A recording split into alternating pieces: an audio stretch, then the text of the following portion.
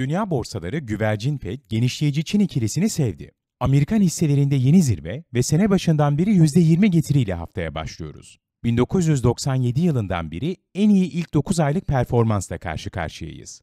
Devamının gelip gelmeyeceği bu cuma açıklanacak tarım dışı istihdam verisine bağlı olarak belirlenecek. Piyasalar ekonomide yumuşak iniş fiyatlıyor.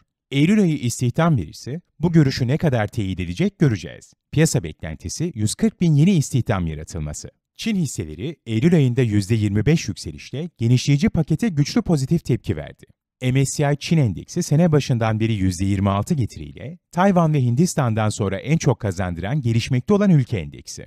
Borsa İstanbul küresel piyasalardaki iyimser havaya katılamıyor. MSCI Türkiye son 3 ayda %11 kayıpla en çok kaybettiren gelişmekte olan ülke endeksi.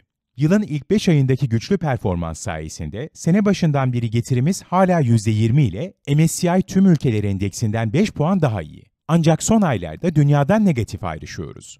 Ankara'nın hem gaza hem frene basan adımları sonrası geçen hafta bankalar %3 artarken sanayi hisseleri %3 gerilemeyle negatif ayrıştı.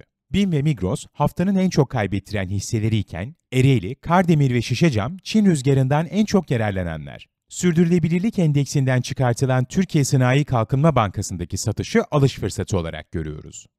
Dünya borsalarının seyri Borsa İstanbul'da yatay bir açılışa işaret ediyor. Nikkei'de %5'e yaklaşan kayıpların, Şangay'da %7'ye yakın kazancın bizim üzerimizde bir etkisinin olmasını beklemiyoruz. Geçen hafta sert değer kaybeden BİM, endeksin yönü üzerinde etkili olacak. Geçen haftaki düşüşün büyük kısmı BİM kaynaklı.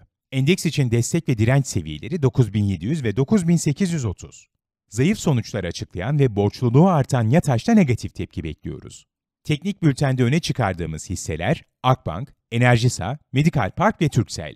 Dinlediğiniz için teşekkür ederiz. İş Yatırım YouTube kanalına abone olun, piyasalar kulağınızda olsun.